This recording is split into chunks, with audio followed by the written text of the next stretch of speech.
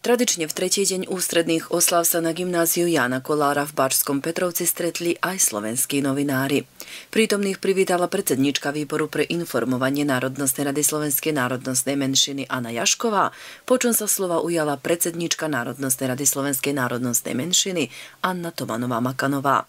Stretnutie novinárov je vždy, a tak bolo aj tohto roku počas 57. slovenských národných slávností, príležitosť na konštruktívnu debatu a výmenu názorov, návrhov a plánov. Je to predovšetkým privatizácia našich lokálnych médií, e, čím sa naši kolegovia dostali na voľný mediálny trh a kde je každá pomoc vítaná, najmä keď ide či odporúčania zo strany národnostných rád, alebo um, nejaké radcovské, odborné, možno ehm, odborná možno pomoc zo strany tak asociácie a výboru pre informovanie, aby sa ľahšie vynašli nielen v projektoch, ktoré sa núkajú tu na v Srbsku, ale možno aj mimo, pokiaľ ide o európske fondy, ktoré myslím, že sú nie na dostač využité.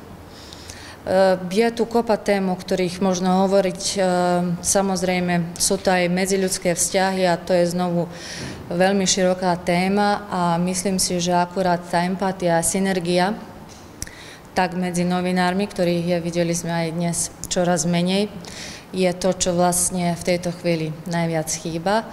A mm, o to sa môžeme pousilovať aj bez konzultácií, stretnutí a neviem, akýchkoľvek poradovní. Znamená, ide iba o ľudskosť, integritu, ktorá je v našom remesle nevyhnutná. V rámci stretnutia uskutočnilo sa aj slávnostné udelenie ceny Anny Nemogovej Kolárovej za najlepší mediálny produkt o slovenskej národnosti v Srbsku.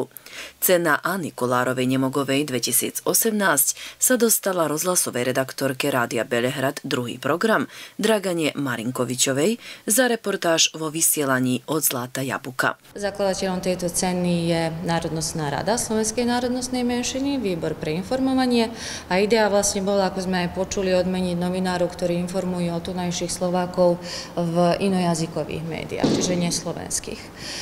Tentokrát to bola kolegyňa, hudobná redaktorka z Rádio Belehradu, druhý program. Komisia, ktorá hodnotila práce, pracovala v zložení Miroslava Kadlečíková, Rastislav Durman a Pavel Matúch.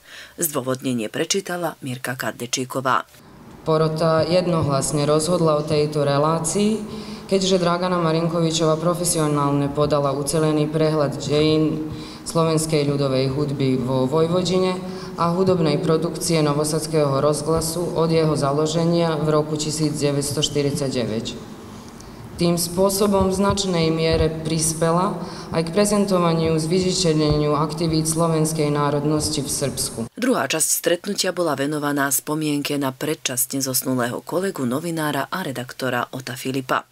Na Otovú tvorbu, osobnosť a činnosť v týždenníku Hlas ľudu jeho bohatú fotodokumentáciu a spoločenskú činnosť zaspomínali si Stefan Lenhardt, úradujúci šéf-redaktor Hlasu ľudu a kolegovia Juraj Bartoš, Katarína Melegová-Melichová, Vladimíra Dorčová-Valtnerová, Anna Mária Boldocká-Grbičová a Rastislav Zorňan.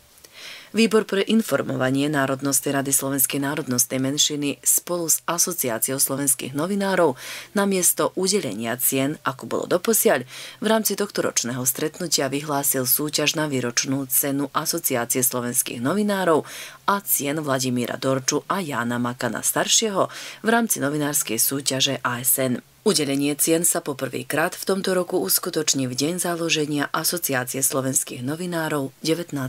októbra. To, čo možno kolegovia očakávali a sa nestalo, je udelenie cien našej jedinej novinárskej súťaže, ktorú organizuje Asociácia slovenských novinárov. To neznamená, že tohto roku súťaž vystane, len sme jednoducho chceli si to tentokrát rozdeliť. Možno aj preto, aby sme mali ešte niekoľko príležitostí sa stretnúť, dúfam aj vo väčšom počte. Tak sme dnešné stretnutie využili, aby sme túto súťaž vyhlásili. Bude otvorená do 5. októbra. Všetky potrebné informácie si naši kolegovia budú môcť prečítať na našej webovej stránke www.asn.rs. Tiež sú tam aj prihlášky, prihlášky, e, čiže práce sa môžu zaslať elektronicky a poštové. Samozrejme o priebehu súťaže budeme informovať aj v našich médiách. A to budúce stretnutie, čiže stretnutie, keď udelíme ceny ASN, môžeme samozrejme využiť aj na otvorenie niektorých možno palčivejších tém, keď ide o naše slovenské dolnozemské, a nie iba slovenské dolnozemské novinárstvo.